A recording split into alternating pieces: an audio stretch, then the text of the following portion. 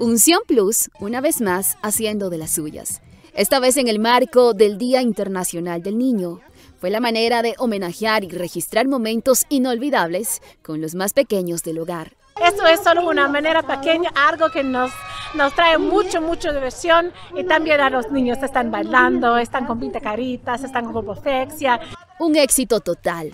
El Parque Lineal Tarquigullo fue el escenario de caritas pintadas, obras de teatro, títeres, música y más dinámicas a cargo de una treintena de voluntarios de iglesias y fundaciones de la localidad.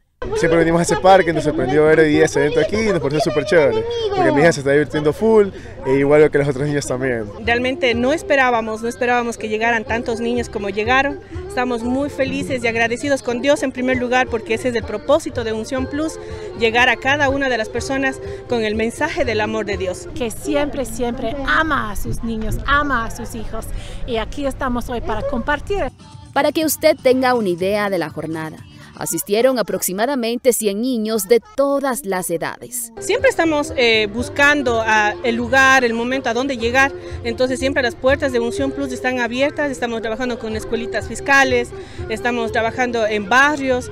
Es la razón de ser de la Fundación Unción Plus y Unción Televisión, como parte de su compromiso con la comunidad. Tenemos consejería gratuita, tenemos eh, entretenimiento para los niños, tenemos eh, terapias, tenemos Proyecto Abril que trabaja con personas y con familias en, adicción para recuperarse de, esas adicciones. Tenemos un grupo de compasión donde salen a compartir la palabra en hospitales, en parques, en diferentes lugares donde las personas nos, nos necesiten. A usted que vio este reporte, esté atento a nuestros anuncios, porque nuevas fechas se vienen y ya se piensa en nuevas actividades de diversión.